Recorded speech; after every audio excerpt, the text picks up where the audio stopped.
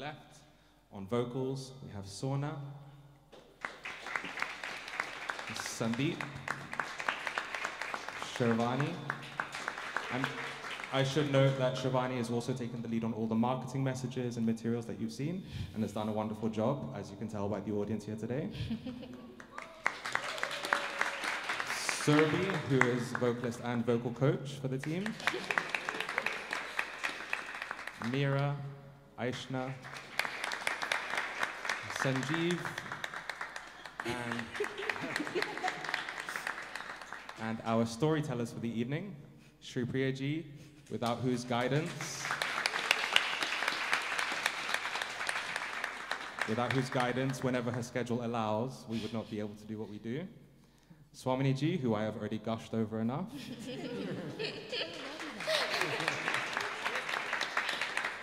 On the flute, Raj. On harmonium and vocals, Jigs. Myself on guitar, my main man Pari on the keys, Sunit on tabla, and last but possibly most importantly, my right hand man, quite literally, and little bro Kishan.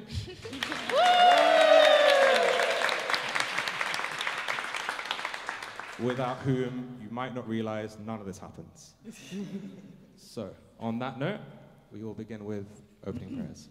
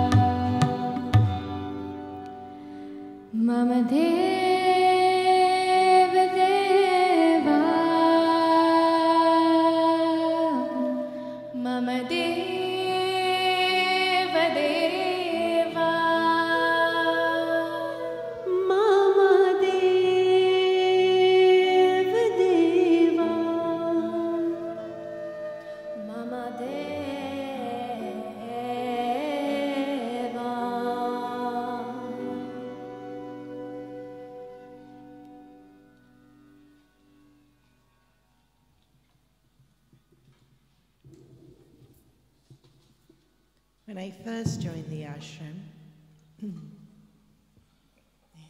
I had, uh, in one of our first satsangs, um, Acharyaji made this point about the most important thing is to be available.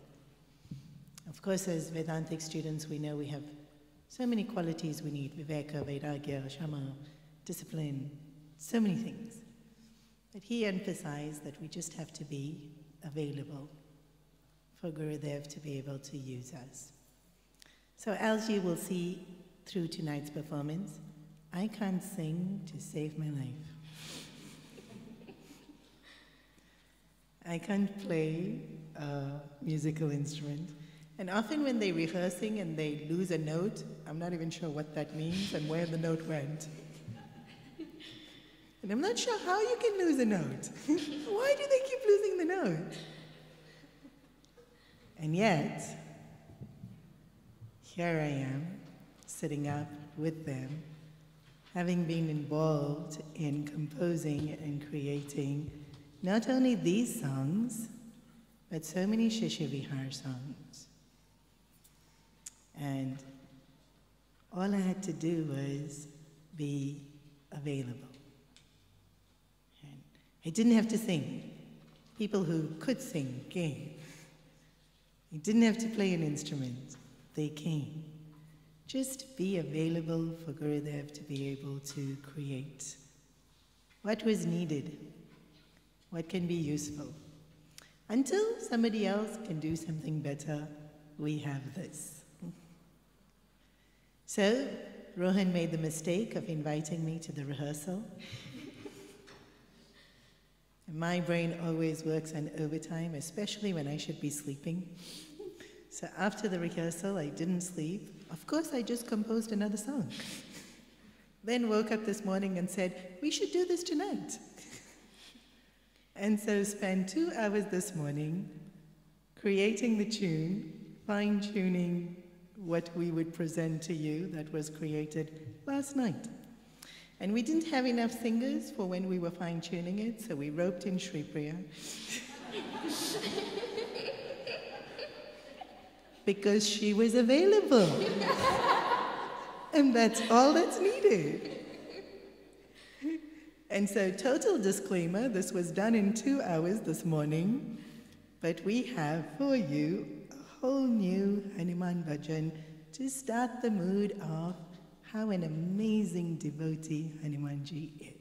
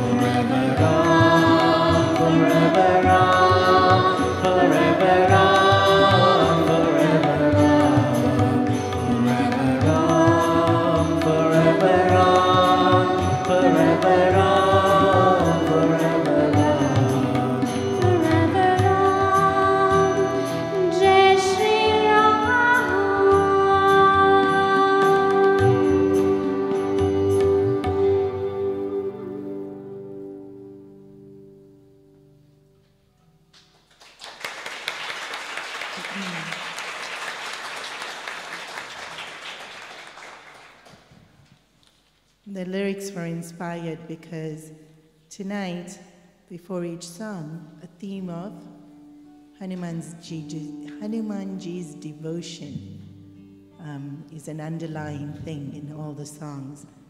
And so, loving Ram is who he is. Loving Ram is what he does.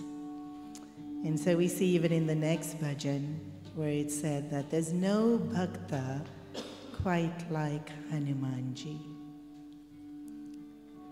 All the great bhaktas that we hear of, we see that they just totally immersed in this love that they feel for Bhagwan. And in Hanumanji, the stories really help us to be able to understand just how much Ram pervaded his being. And one of the really well known Balvihar stories is that when Sita ji gave Ramchandraji a necklace made out of pearls, which was very, very valuable, Hanumanji was then sitting on a tree, bright, biting into the pearls, opening it, looking, and throwing it away. And the other maidens in the palace started giggling and saying, See, Sitaji gave this beautiful necklace to a monkey, and of course he doesn't know the value of it. He's breaking these precious pearls. And, you know, not very discreetly did they say this because Sitaji heard it. And of course, very embarrassed and annoyed that she is being talked about in this negative light, she goes up to Hanumanji and says, What are you doing? He very innocently says, I'm looking for Ram. "Yeah, How are you going to find Ram in the pearls? As if you have Ram in you. And he immediately pulls open his heart to show Ram, Lakshman, Sita sitting in his heart. But more than that, from every pore of his being, you could hear the name Ram resonating. And so beautiful is this that it was just always there, whether he was thinking about it or not thinking about it, every single pore of his being always resonated with the sound of Ram because that's all he thought about and all he felt. There's another story which is not as well known, but you know, one of the cute ones again that I like to tell in the Bal Vihar class. Hanumanji was revealing, relieving himself, bathroom, and he was saying Shri Ram, Jaya Ram, Jaya Jaya Ram. And one of these rishis walking past thought, How could you do that? This is sacrilege. Like, sure, we're supposed to chant the name of the Lord all the time, but time and place, not when you're going to the bathroom. So the Rishi forbid Hanumanji to chant Rama's name as he was relieving himself. And so Hanumanji but every pore of his being continued to chant Ram, Ram, Ram, Ram. He could seal his lips, but not stop the very beating of his heart and the very essence of who he is. There's no other devotee quite like Ram Hanumanji.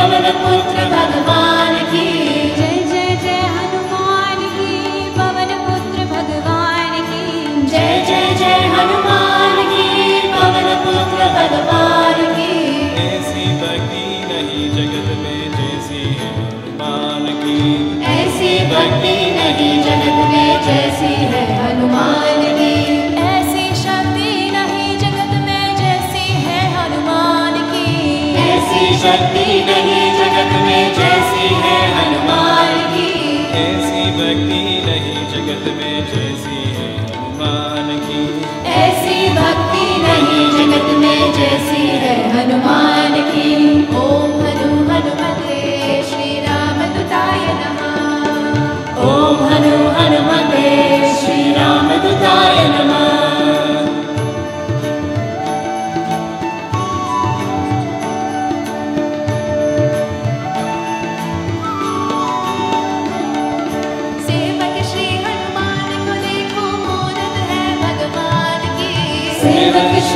को देखो मूरत है भगवान की चीर के जाते दर्शन दीना कथा सुनो बलवान की चीर के जाते दर्शन दीना कथा सुनो भगवान की ऐसी भक्ति नहीं जगत में जैसी है हनुमान की ऐसी भक्ति नहीं जगत में जैसी है हनुमान की।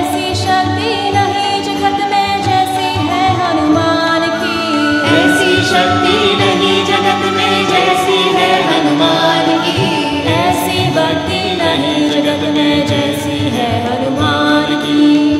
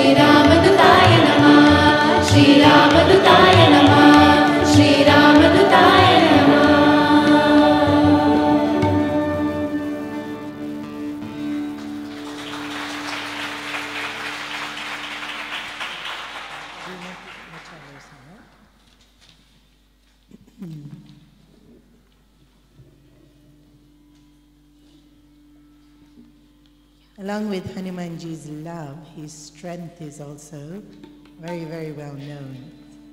And one of the things he's known, so famous for, Hanumanji is indestructible, cannot be beaten. when we hear the story of Love and Kush, not as well known, the story of Love and Kush. Love and Kush grew up in Valmiki's ashram, and their favoriteest thing to do was listen to the story of the Ramayana. And Valmiki, who wrote the Ramayana, was the one who taught it to them. And Sita ji, who they didn't know was Sita ji, they only knew her as Maya, knew all the details of the Ramayana which they learnt. And so Ram and Kush, I mean Love and Kush are singing in the palace the beautiful story of the Ramayana until they realize that they're sitting in front of all these characters that they're singing about. And so they get introduced. This is Bharat, this is Shatrughan, and they're so excited. This is Lakshman, this is Ram, this is Hanuman, and they're so ecstatic. And then they say, Where's Sita? And there's pin drop silence. And so they ask again, Where's Sita Maiya? Nobody answering.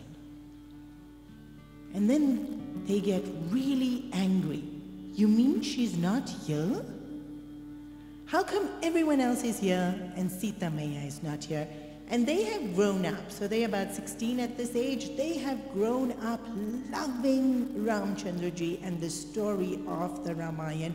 And suddenly they feel so betrayed because Sita Ji is not there that they decide they're going to ruin this whole Ashwamedha Yagna that is going on at that point in time. So they get the horse and steal it and take it away. So now you know a yagna has to be completed. So they even know, this is how well they knew the story of the Ramayana. They said, first, Shatrughan's going to come. He's going to use this arrow. They knew even which arrow he was going to use, and so they knew how to counter it, and they defeated Shatrughan. Now, Lakshman will come, and he will use this arrow, and they defeated him. Bharat will come, we know exactly which arrow he's going to use, and they defeated him. Then they looked at each other and said, uh oh, now Hanuman's going to come. There's no arrow to defeat Hanuman. So they look at each other and then they think, ah, we'll just start singing Sri Ram Jai Ram Jai Jai. And true enough, they sit down, Hanuman comes and they start singing Sri Ram Jai Ram. And Hanumanji sits down with them, closes his eyes and singing Sri Ram Jai. And while he's closing his eyes singing Sri Ram Jai Ram Jai Ram, they take the vines from the trees and tie Hanumanji up to the tree as if that's going to even do anything. No arrow can defeat Hanumanji. How is a vine going to keep his hand near a tree? And then they take the horse and hide it. And they said, as long as you just keep chanting Sri Ram, Jai Ram, Jai Ram, he will be fine. We don't have to deal with him. Because they knew the only way to make Hanuman not take the horse back was to let him revel in the name of the Lord. They knew that would keep him captive. When we want Hanumanji, all we have to do is sing Rama's glory, and he will stay here, engrossed, willingly, as long as we keep singing.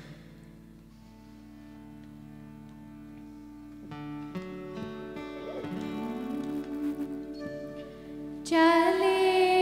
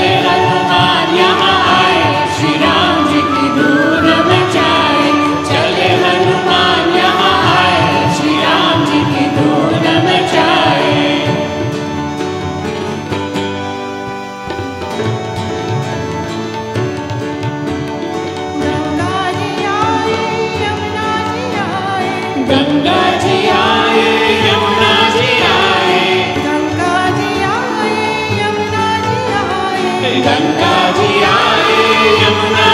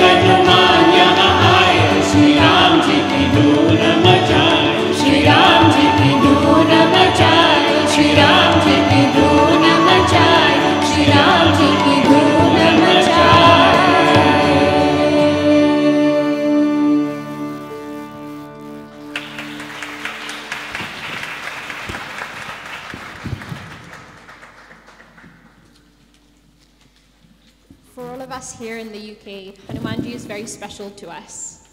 He is our presiding deity here of Chinmaya Kirti. But he's also very special to everybody in Chinmaya Mission because he stays in a very special ashram where our Pujya Gurudev, where his Mahasamadhi is. That ashram is Chinmaya Tapovan in Sidhbari, which is in a location where our Parama Guru Sri Tapovanji Maharaj had passed through on his travels. And in the uh, late 70s, Pujya Gurudev passed also through this place, Kangra, when he was on his way back from a yajna. And uh, Pujya Gurudev, having the vision that he had, saw that this would be the perfect place to have this ashram. And so the land was purchased, but that land is it was completely barren at that time, and the terrain was so difficult. But Pujya Gurudev's Sankalpa is infallible. And so construction began. But that construction was uh, affected by a lot of the sort of weather conditions in the area, right? You've seen how it is today outside. And as London people, we love to complain about the weather. There's just a little bit of wind and a little bit of rain. So there, there was sort of gale force winds. It was making construction really difficult. So Pujya Gurudev said, we should bring Hanumanji. He is the perfect person. He's the perfect, uh, perfect form of Bhagavan to make sure that this ashram gets constructed. And sure enough, you all knew the story that Hanumanji was brought and the wind calmed and construction continued. But the other part of Pujya Gurudev's vision is that everywhere there's an ashram, it's not just for Chinmaya Mission people, it's for everyone who lives there. And that area was a place where rishis and munis had been living for centuries. And these rishis and munis would be doing their sadhana and doing their meditation. And so, who would serve them? Who would bring them what they needed? Who would take care of them? It was the local Pahari people. And as part of this vision for Chinmaya Tapovan Ashram, Pujya Gurudev said that we have to make it so that we are able to serve these people who have been serving our saints and sages. This ashram is for them. When construction started, they were skeptical because anything new in the area, you know, people coming in from outside, they weren't sure how it would be. But meeting Pujya Gurudev and seeing him, and seeing how this whole ashram was coming up, by the time the ashram opened, these same Pahari people who were a little bit skeptical, they had taken Pujya Gurudev as their own. And they had taken Hanumanji as their own. And in fact, the praise that they used to sing for him is a song that we continue to sing today. It is beloved by all Balvihar children, not only Balvihar children, but those who are Balvihar children at heart also. And it is in praise of Hanuman as Veera.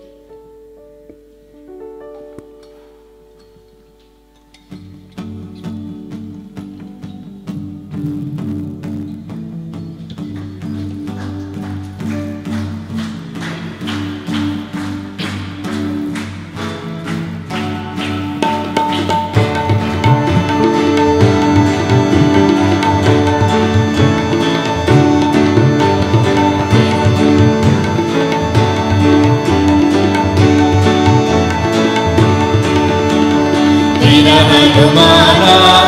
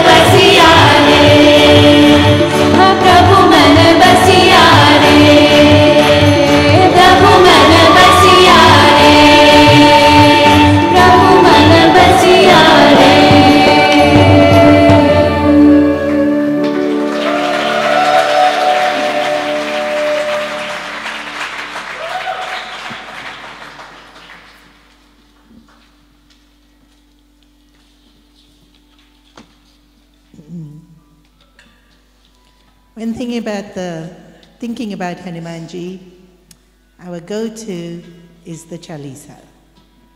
It's almost synonymous. If we know Hanumanji, if we love Hanumanji, we sing Chalisas. And it's become so incredibly popular.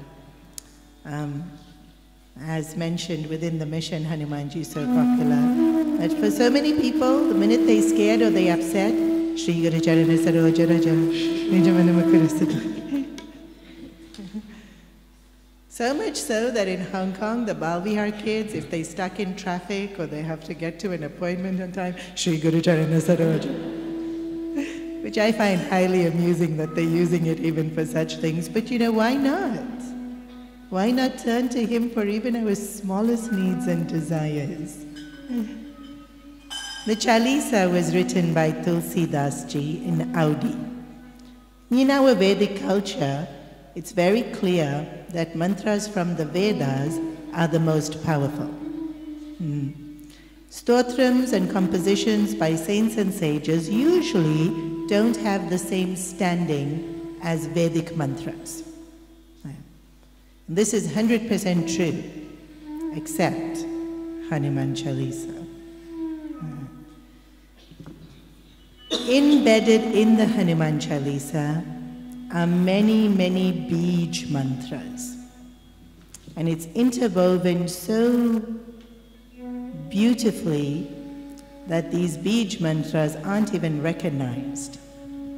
But even more importantly, the more potent something is, the more dangerous it can also be. And so when Bij mantras are not used with the right guidance, can sometimes cause side effects. But in the Hanuman Chalisa, they're so safe that we don't even know we're saying them. And yet it's so potent that we can see the effect and the power of the Chalisa without even knowing how it's so powerful because Tulsi Das ji so brilliantly interwove these Bij mantras in such a safe way. We don't know it's there. We just like the tune. Or we just like thinking of Hanumanji. And it's long enough to keep our attention. Just makes us feel safe.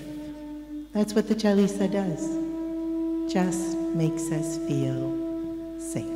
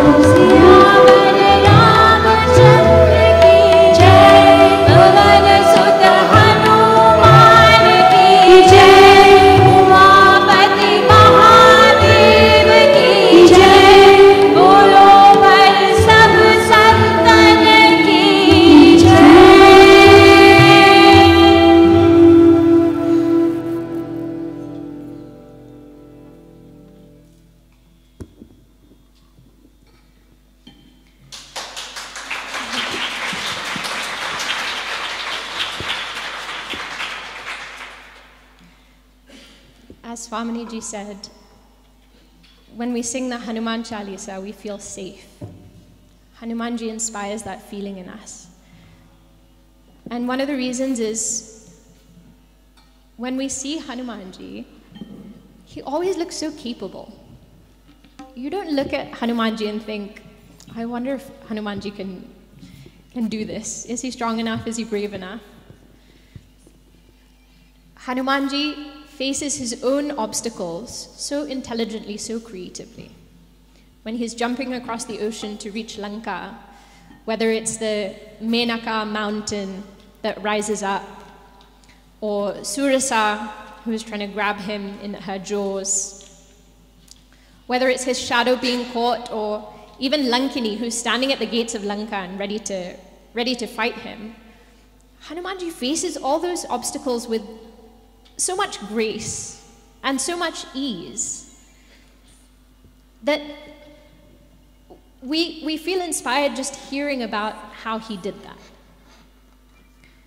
But Hanumanji not only faces his own obstacles, Hanumanji is someone who we see removing others' obstacles and others' sorrows again and again and again.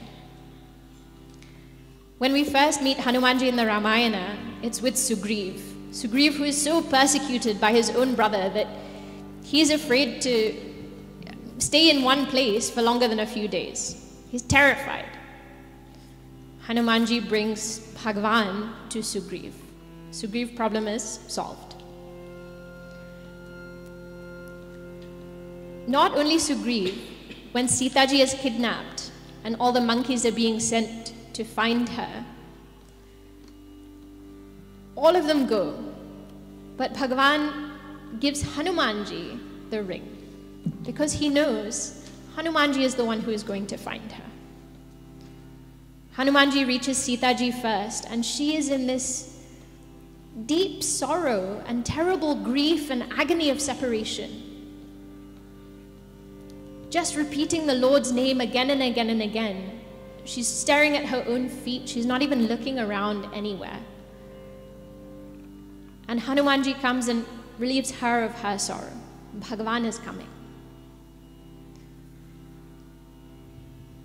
Hanumanji goes back to Bhagavan because as much as Sitaji is missing Bhagavan, he is also thinking of her.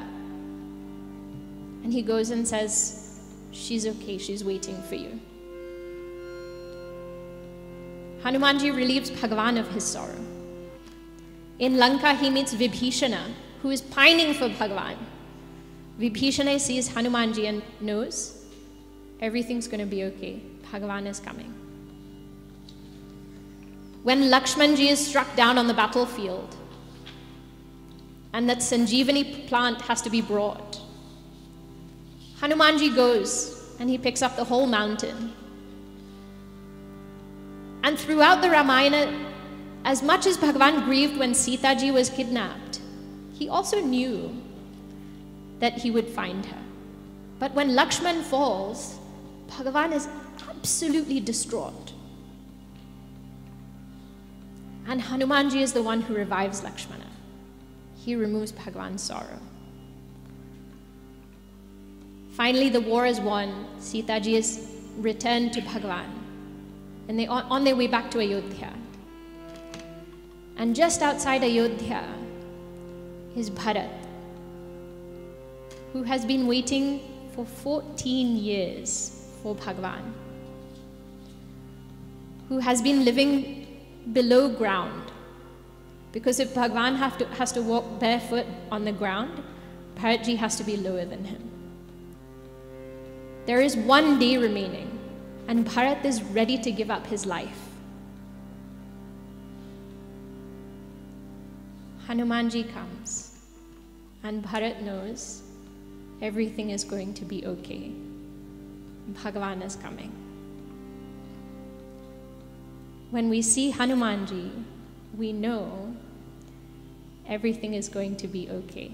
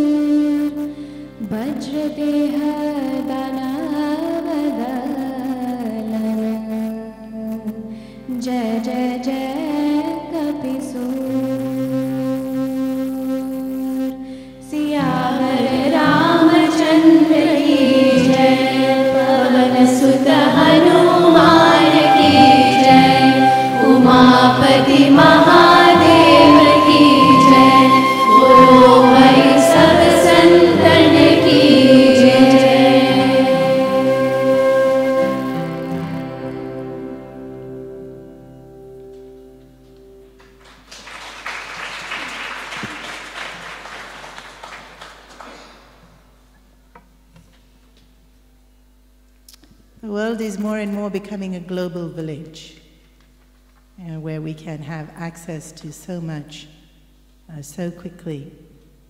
And so you see on Instagram even these fusion dance mixes between Bharatanatyam and pop. Or you see uh, Bollywood being mixed with Zumba. Or Garba workouts being mixed with aerobics.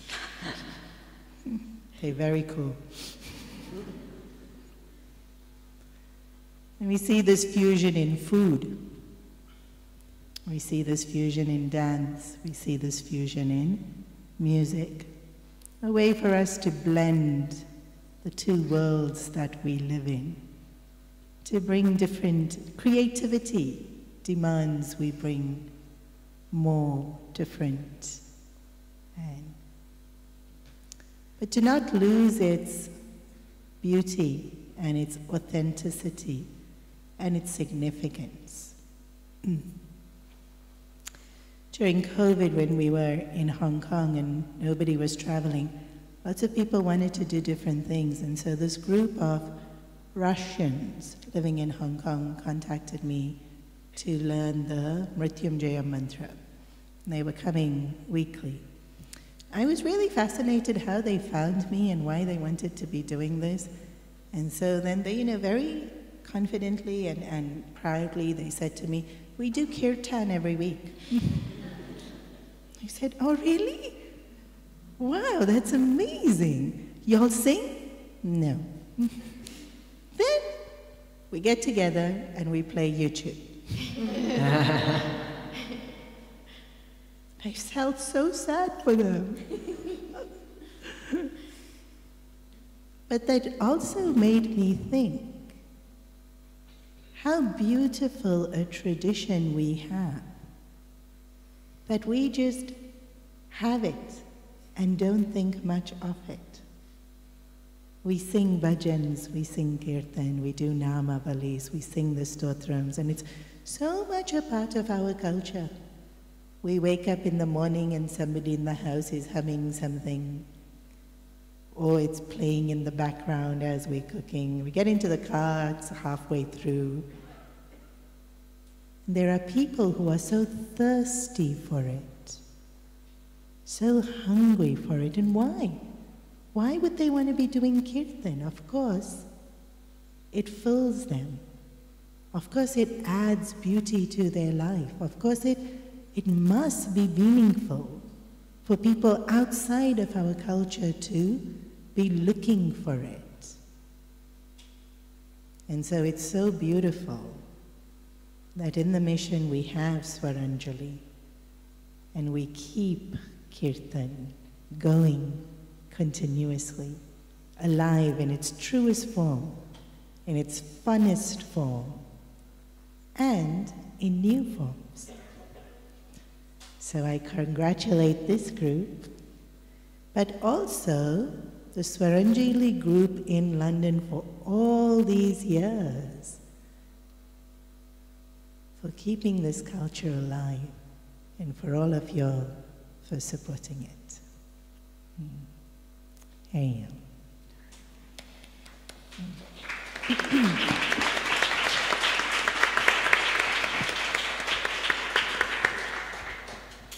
Hariom, just before we conclude, um, so you all have been sitting and enjoying for an hour and 15 minutes. Um, this group has been meeting since last year every Tuesday evening from 7.30 till 9, sometimes later. Um, sometimes there are three or four people, sometimes there are 10 or 15. But they have been consistently practicing and really putting so much effort and love into what you've seen today.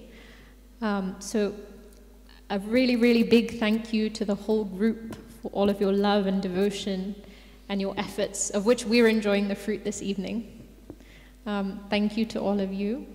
Um, thank you also to the EV team, um, to Sans, to Preet, um, to Suresh Uncle, who is really like jack of all trades. Um, thank you all for making sure everything went smoothly this evening. Thank you to those of you who, there were obviously the ushers and those who helped set up the hall, the worker bees in the background. Um, thank you to you all for being here tonight with us. Um, thank you to Swamini Ji for gracing us with her presence and making this evening even more, more special. Um, Hari Om.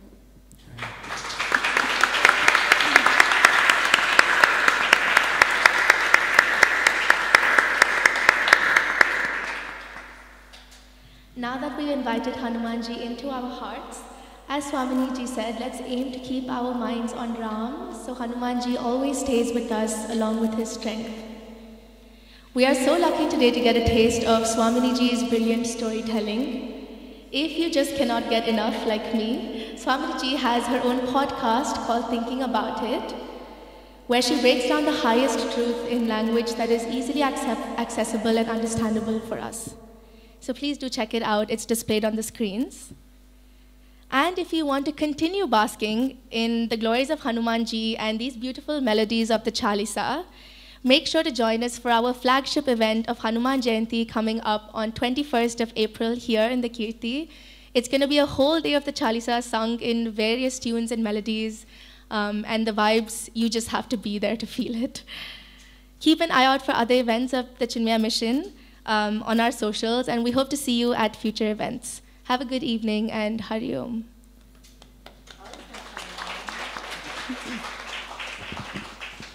Also coming up is London's own podcast on the Ramayana, which will also feature tunes from this Swaranjali and original Swaranjali.